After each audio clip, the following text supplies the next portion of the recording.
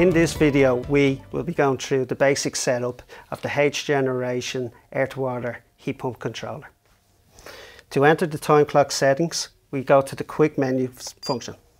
Scroll across to the time clock with the number 7 on front. Enter.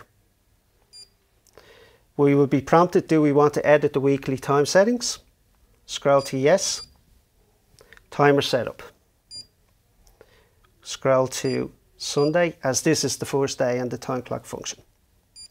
Enter. Scroll to the first setting we want to edit. We will move back that back to uh, 8 o'clock in the morning.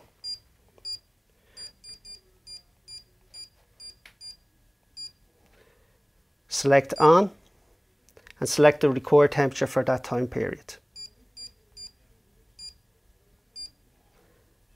We then scroll down to time setting 2, enter, edit. This is usually the off function.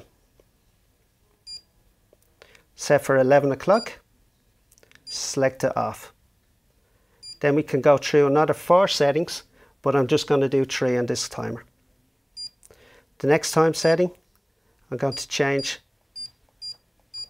to 5 o'clock in the evening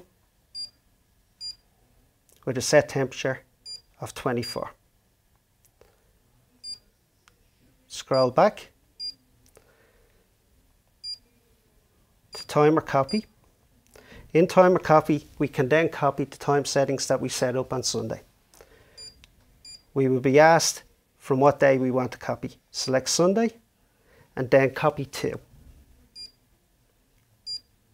Scroll through the days you want to copy that time setting to.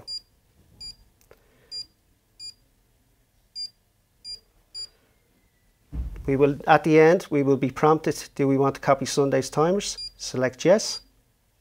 And that's how we set up the H generation air to water controller on timer.